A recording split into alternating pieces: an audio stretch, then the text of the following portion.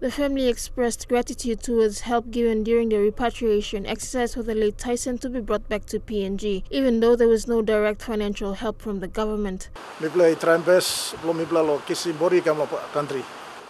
Mi thank you long all nabla all uh, uh, like uh, provincial affair uh, I mean uh, provincial uh, foreign affairs department long uh, kamin long alibim alibim bla long uh, uh, kisi bori kam emi minister working mo plongan long uh, uh, working uh, uh, diplomatic uh, note long kisimbori kam long uh, uh, country The Kularas were able to pull through financially with contributions from the Enga provincial government, along with family and friends both in Enga and Port Moresby, as well as a community of PNG students studying in China, mostly friends who were studying together with the late Tyson, contributing 10,000 yuan, equivalent to 5,000 in PNG Kina. The entire repatriation exercise in China alone cost between 200 to 300,000 kina. This is excluding what was spent in the last month while trying to get in touch with the Department of Foreign Affairs and the Chinese Embassy in Port Moresby.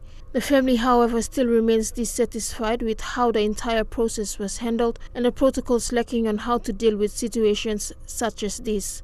Even reports on circumstances surrounding his death remains inconclusive at this stage. Uh, we came to grips with this reality, and so I think PNG government has learned a lesson.